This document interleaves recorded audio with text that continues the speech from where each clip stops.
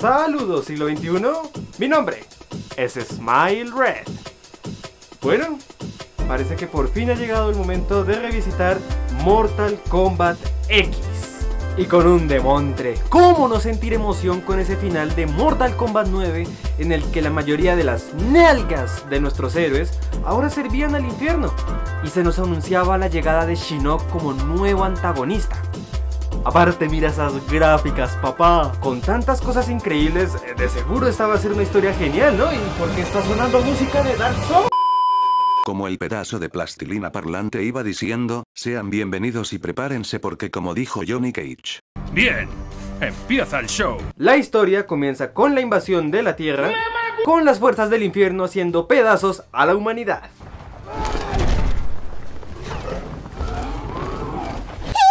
Mientras tanto tenemos a Johnny Cage, Sonya y al DLC de Mortal Kombat 9 Kenshi. con la misión de ayudar a Raiden a evitar que Shinnok acabe con la fuerza vital de la Tierra. ¿Aterrizarías bien si eres tan amable? Como siempre.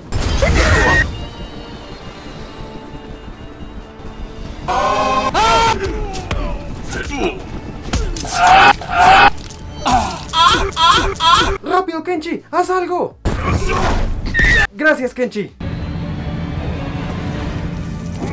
Hola, Sub-Zero. Qué lindo es verte sin el... Nano Machine, son. Espera, ¿por qué Sub-Zero ya no es un ciber? Ah, eso lo explican en un cómic. ¿Y por qué no lo explican en el juego? Ah, la respuesta es fácil. ¡Él no la cagó primero!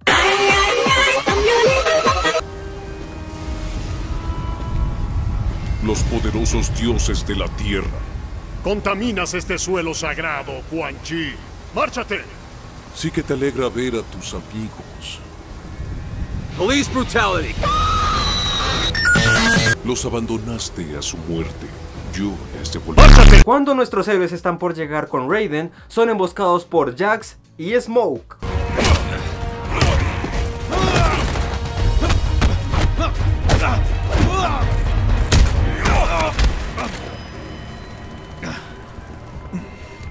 Smoke. Smoke está muerto. Soy. Tu puta madre. Después de puños, patadas y gemidos, por fin Shinnok hace presencia y... Es tu legado. Oh no. Envenena sus corazones con No, no, no, no, no, no, no, no, no, no, no, no puedo tomar en serio un villano que hable con una voz nasal así. Si separas la sombra de la luz, la sombra crece.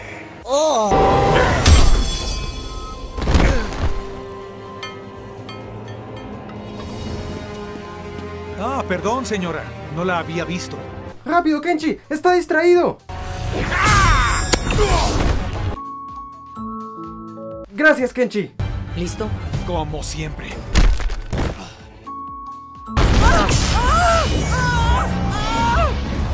Ella será la primera en unirse a mí. ¡No!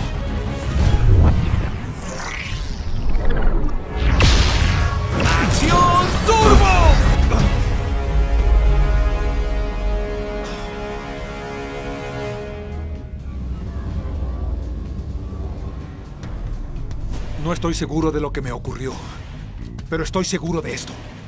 Ni se te ocurra hacerle daño. ¡Oh, qué lindo! Tienes razón, fue muy lindo ver a John y arriesgar su vida por Sonia. ¿Qué? No, hablo del hecho de que Shinnok fue vencido en solo 5 minutos.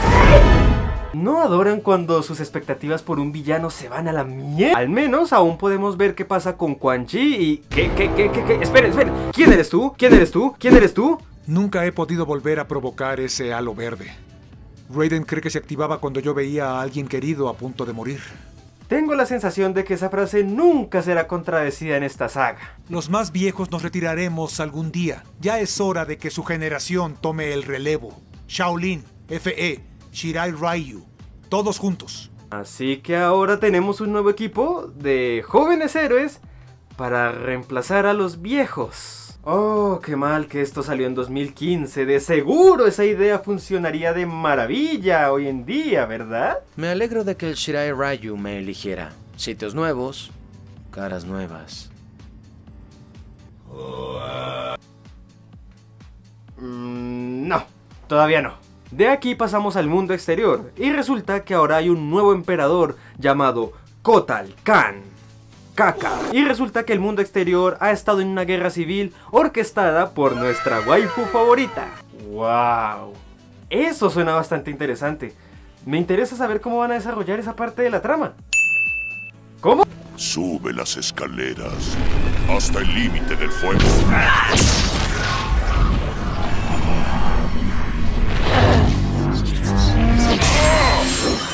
Así que ahora Milina tiene el amuleto de Shinnok, ¿eh? Bueno, veamos cómo nos explican cómo lo consiguió. Oh, ¿a quién le importa? Mejor volvamos con la patrulla Junior. ¿Por qué no? Por cierto, hola Sub-Zero, veo que ya no eres una máquina ni un esclavo sexual del infierno. Y te preguntaría cómo lo hiciste, pero sé que todo se resume en...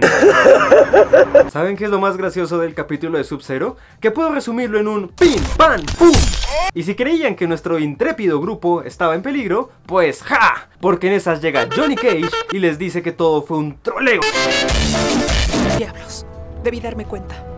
Tus amigos y tú tienen mucho potencial, Cassandra Cage. Pero mientras no funcionen como uno solo, les faltará algo. ¡Wow! De hecho, sí suena interesante ver cómo evolucionará este equipo a lo largo de la... ¿Qué? Te acompaño. Pide un informe de seguridad del campamento a Flag, ¿Por qué? porque así no estarás aquí.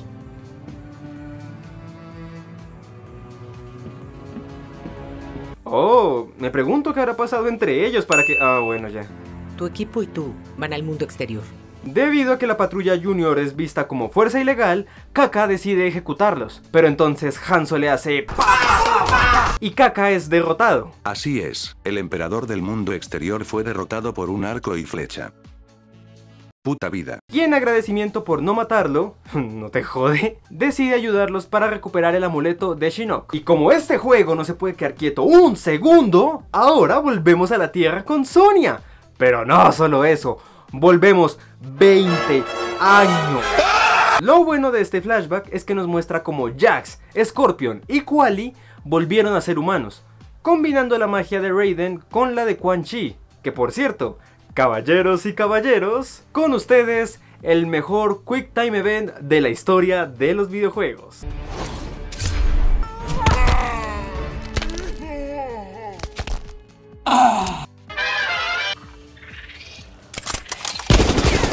Con ustedes, el mayor fetiche de los adoradores de insectos, Devora. Escucha y únete a nosotros. Por cierto, ahora Reptile habla.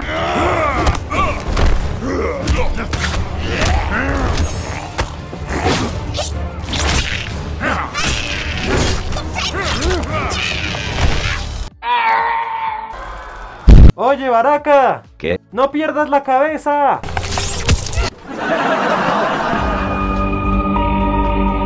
Ya en el presente, la patrulla Junior logra encontrar el campamento de Melina con la ayuda de Devora. Pero, antes de poder conseguir el amuleto, llega la waifu mayor. Y ya saben lo que eso significa. ¡Guerra de fetiches!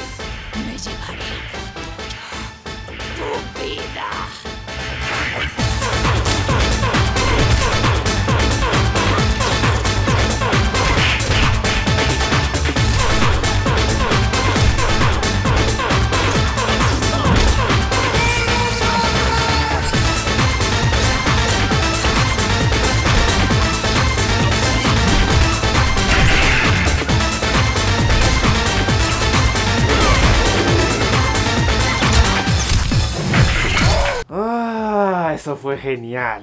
Y como toda buena guerra de fetiches, solo puede terminar de una forma.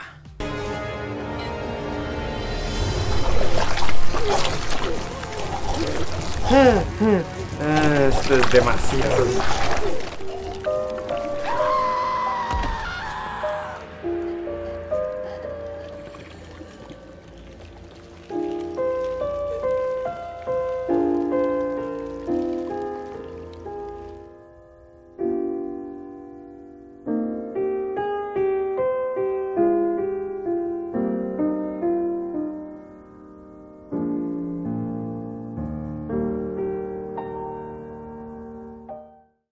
¡Oh no!